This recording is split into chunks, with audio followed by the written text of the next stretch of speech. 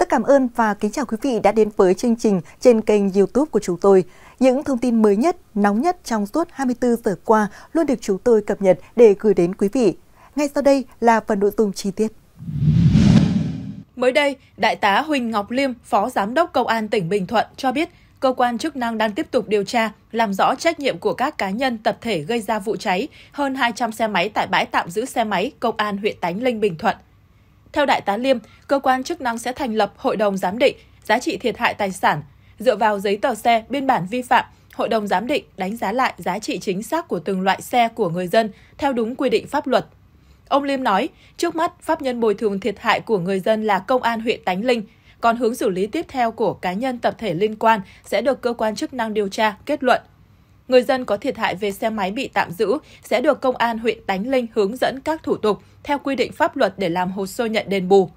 Như thông tin đã đưa, vừa qua Công an tỉnh Bình Thuận đã công bố nguyên nhân vụ việc 232 chiếc xe máy tăng vật tại trụ sở Công an huyện Tánh Linh bị thiêu rụi. Vụ cháy xuất phát từ sự bất cẩn của chiến sĩ công an nghĩa vụ. Theo đó, một chiến sĩ đang thực hiện quá trình hút xăng từ các xe máy tăng vật vi phạm trước khi đưa vào bãi.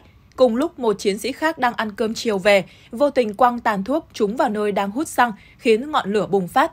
Vụ cháy đã được dập tắt sau 45 phút, tổng thiệt hại khoảng 2 tỷ đồng. Theo luật sư Trần Cao Đại Kỳ Quân, giảng viên luật, thuộc đoàn luật sư tỉnh Đồng Nai, căn cứ vào khoản 2, 3, điều 9, Nghị định số 138 năm 2021 NDCP thì người quản lý, bảo quản tăng vật, phương tiện, giấy phép bị tạm giữ có trách nhiệm trực tiếp quản lý, bảo quản tăng vật, phương tiện bị tạm giữ tịch thu. Trường hợp tăng vật, phương tiện, giấy phép bị tạm giữ bị mất, bán trái quy định, đánh cháo, hư hỏng, phải chịu trách nhiệm trước pháp luật và người ra quyết định tạm giữ, tịch thu về việc quản lý, bảo quản tăng vật, phương tiện, giấy phép bị tạm giữ. Như vậy, đối với các xe bị cháy dẫn đến hư hỏng, thì người ra quyết định tạm giữ tịch thu phải chịu trách nhiệm bồi thường và bị xử lý theo quy định của pháp luật. Con người quản lý, bảo quản tăng vật, phương tiện bị tạm giữ tịch thu phải chịu trách nhiệm trước pháp luật và người ra quyết định tạm giữ tịch thu về việc quản lý, bảo quản tăng vật, phương tiện. Ngoài ra, trong trường hợp chủ xe có mua thêm bảo hiểm vật chất xe, bảo hiểm tự nguyện, thì chủ xe yêu cầu doanh nghiệp bảo hiểm bồi thường cho mình – sau khi doanh nghiệp bảo hiểm đã trả tiền bồi thường cho chủ xe, doanh nghiệp bảo hiểm có quyền yêu cầu công an huyện Tánh Linh hoặc người có lỗi gây ra đám cháy bồi hoàn cho mình khoản tiền đã bồi thường trước đó cho chủ xe. Ngày 17 tháng 3, Trung tâm Báo tin động đất và Cảnh báo sóng thần, Viện Vật lý Địa cầu liên tiếp phát đi 8 bản tin thông báo động đất tại khu vực huyện Con Plong, tỉnh Con Tum.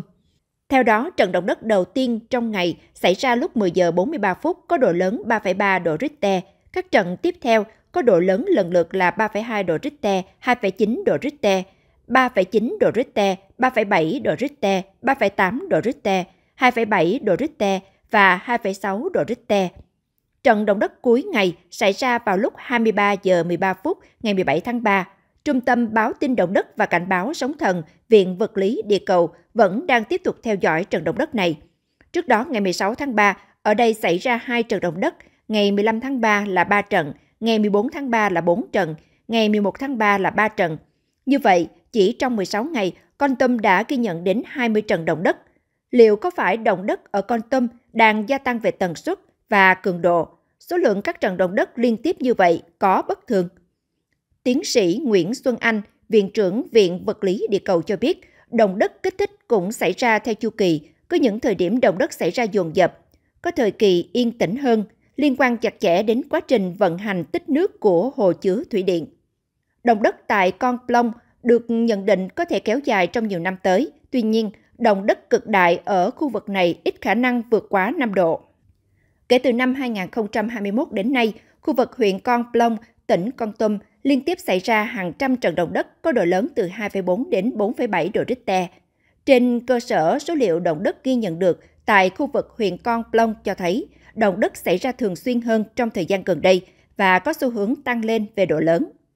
Các trận động đất tại khu vực này chưa ghi nhận thiệt hại về nhà cửa và người. Tuy nhiên, các rung động địa chấn do động đất gây ra ảnh hưởng nhất định đến đời sống của nhân dân trong khu vực. Khu vực tỉnh Con Tum nói chung và huyện Con Plong nói riêng thuộc đới đứt gãy nhỏ.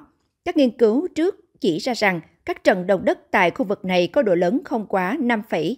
Viện Vật lý Địa cầu thường xuyên thông báo về hoạt động động đất đến chính quyền và người dân tại khu vực này để có kết luận chính xác. Thời gian theo dõi hoạt động động đất phải đủ lớn. Các cán bộ thuộc viện tiếp tục theo dõi thêm và xử lý số liệu các trận động đất tại huyện Con Plong. Viện trưởng Nguyễn Xuân Anh khuyến cáo người dân và chính quyền khu vực này cần quan tâm đến các yếu tố kháng chấn trong xây dựng. Các cấp chính quyền cần thường xuyên tuyên truyền, hướng dẫn cho người dân các biện pháp phòng, tránh, giảm thiểu thiệt hại khi xảy ra động đất mạnh.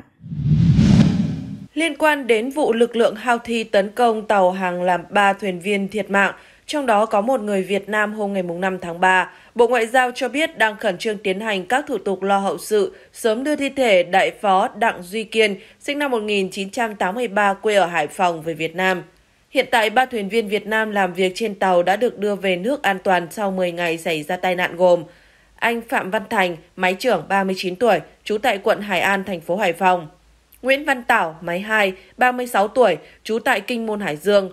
Phùng Văn An, 31 tuổi, trú tại Vũ Thư, Thái Bình.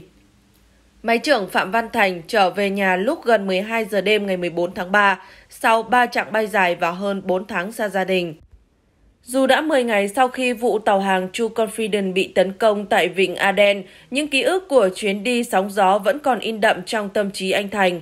Chia sẻ về chuyến đi này, anh Thành cho biết tàu True Confidence bắt đầu khởi hành ngày 30 tháng 1 khi nhận tàu tại Ai Cập, con tàu có lộ trình đi qua Biển Đỏ. Công việc của thủy thủ Phạm Văn Thành trên tàu là thợ máy, anh làm việc theo ca kíp được phân. Hành trình di chuyển qua Biển Đỏ dự kiến là hành trình sẽ có nhiều thử thách. Trước khi bắt đầu, các thủy thủ đã được tập huấn một số công tác như phòng chống cướp biển bằng cách sử dụng vòi rồng, ẩn nấp tại phòng an toàn, phương thức cứu hộ cứu nạn, cách di chuyển xuống bè cứu sinh an toàn, cách ổn định tâm lý khi gặp phải sự cố bất ngờ. Đặc biệt, mỗi con tàu đi biển đều có thiết kế một phòng an toàn riêng, có ký hiệu riêng của thủy thủ, và vì sự an toàn sinh mạng của người đi tàu, chỉ có các thủy thủ mới biết vị trí chính xác của căn phòng. Thủy thủ Phạm Văn Thành cho biết, tôi cũng từng đi qua eo biển này, ngày trước nó vẫn hoạt động bình thường. Trước khi đi, đoàn cũng họp để có phương án khi đi qua vùng biển đỏ như vấn đề sơ cứu cho người bị nạn, vấn đề tâm lý. Tuy nhiên, trong tình huống bị tên lửa tấn công quá nguy hiểm lúc đó, mọi người chỉ biết thoát nhanh và tập trung ở phía sau tàu và động viên nhau khi xuống phao cứu sinh. Trước đó, khi được lực lượng Houthi cảnh báo, tàu cũng đã quay đầu được gần 20 hải lý nhưng họ vẫn bắn.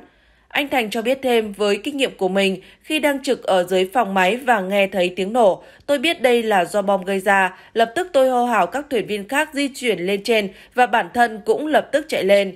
Tên lửa bắn trúng trung tâm điều khiển và bộ phận phòng ngủ của thuyền viên. Khói đen mù mịt, chúng tôi được lệnh di chuyển ra phía sau tàu để tiến hành kiểm đếm thuyền viên. Không may, hai người Philippines đang trong khoang ngủ không thoát ra được. Hiệu lệnh của thuyền trưởng là rời tàu, phao cứu sinh được bung ra, chúng tôi hỗ trợ những người bị thương trên tàu. Ngay sau đó, các thuyền viên trên con tàu gặp nạn cũng nhanh chóng tính đến những trường hợp xấu nhất, chuẩn bị áo phao bè cứu sinh. Việc thoát lên tàu cứu nạn cũng là phương án cuối cùng được đưa ra. Sự việc xảy ra bất ngờ và bị động nên bản thân anh Thành hay các thủy thủ khác cũng đều không nghĩ được nhiều, tất cả sơ tán mà không kịp mang theo bất kỳ đồ đạc cá nhân nào. Trong số 3 thủy thủ xấu số, có thủy thủ Đặng Duy Kiên là người Việt Nam không may bị bỏng nặng. Khi được đưa xuống bè cứu sinh, anh Kiên vẫn còn tỉnh táo, nhưng do sóng to gió lớn, các thủy thủ không thể trao đổi quá nhiều. Sau một thời gian chống chọi với sóng gió trên biển, do vết bỏng quá nặng, anh Kiên liệm dần đi và không qua khỏi, khiến lồng ngực mọi người thắt lại.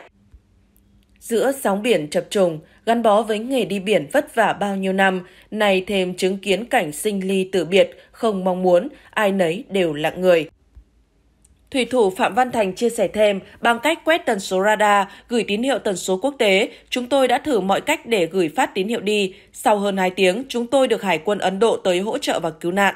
Lên bờ, sau khi được bác sĩ kiểm tra, những người bị thương nhanh chóng được đưa tới bệnh viện. Sau đó, ngay lập tức có người đại diện bên phía chủ tàu tới làm việc, đồng thời Đại sứ quán Ai Cập cũng đã nhanh chóng liên hệ với chúng tôi để hỗ trợ về mặt hộ chiếu, vấn đề đi lại để các thuyền viên được trở về quê hương một cách an toàn và nhanh nhất. Khi đến thành phố cảng của Djibouti ở Đông Phi, việc đầu tiên của thủy thủ Phạm Văn Thành làm là mua sim để gọi về cho gia đình. Do được tập huấn khi có sự cố xảy ra nên tinh thần anh cũng không quá hoảng loạn. Với kinh nghiệm hơn 10 năm trong nghề, anh đã biết cách xử lý để an toàn nhất cho mình và đồng nghiệp. Về đến Việt Nam, anh di chuyển luôn về Hải Phòng để đoàn tụ với gia đình. Anh Thành chia sẻ, đêm đầu tiên sau khi trở về nhà thật khó ngủ với nhiều cảm xúc, tôi bị tỉnh giấc mất mấy lần. Sau khi về nước, anh Thành và các thủy thủ cũng thường xuyên liên lạc và thăm hỏi gia đình anh Kiên, người thủy thủ xấu số đã tử nạn trong sự cố tấn công tàu vừa qua. Gắn bó với nghề đã nhiều năm, anh Thành cho biết anh sẽ không từ bỏ tình yêu dành cho công việc. Sau khi về Việt Nam, anh sẽ nhanh chóng làm lại các thủ tục để sớm có thể quay lại làm việc. Nhận định về tình huống nguy hiểm lần này, anh Thành cho biết anh nghĩ lực lượng Houthi chỉ bắn cảnh báo tàu nên tên lửa bắn trúng bộ phận điều khiển, còn nếu vào thân tàu thì hậu quả sẽ lớn hơn xảy ra. May mắn tàu không bị chìm, các lực lượng chức năng đang lai dắt tàu về nơi an toàn, không có sự cố tràn dầu ảnh hưởng tới môi trường.